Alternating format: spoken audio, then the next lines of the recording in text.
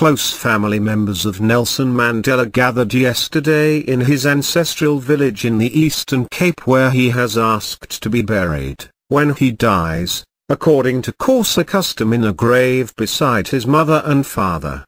No official details of the clan meeting in Qunu were divulged aside from word from South Africa's SAPA news agency that it had been held to discuss delicate matters. The widespread assumption was that that meeting which was said by some reporters to have included a visit to the family cemetery plot by one of Mandela's grandsons was convened to discuss funeral arrangements and the protracted grieving process and celebration of his life that is likely to follow when the 94-year-old former president passes away. The family gathering in Qunu was the latest of many signs that the iconic anti-apartheid freedom fighters' final struggle may be in its final stages.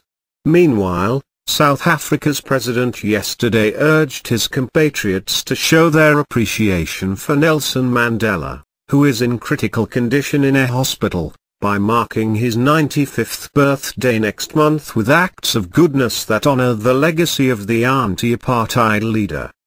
The office of President Jacob Zuma said Mandela's condition remained unchanged after reporting late Sunday that his health had deteriorated to critical, alarming many South Africans as well as people around the world who regard the former president as a symbol of sacrifice and reconciliation.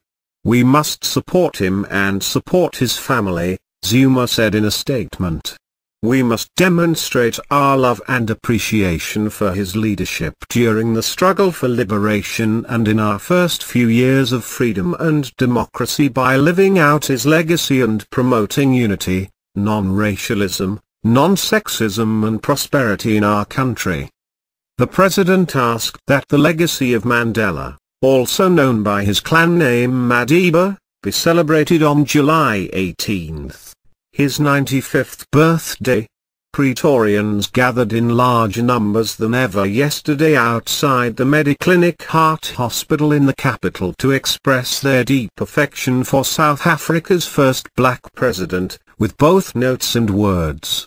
The number of foreign journalists maintaining an around-the-clock vigil has also grown dramatically since Mandela's medical condition slipped from serious to critical on Sunday evening. The Mandelas have repeatedly asked that they and their patriarch be allowed privacy after he was rushed to hospital on June 8 with a recurrent lung infection. This plea has mostly fallen on deaf ears.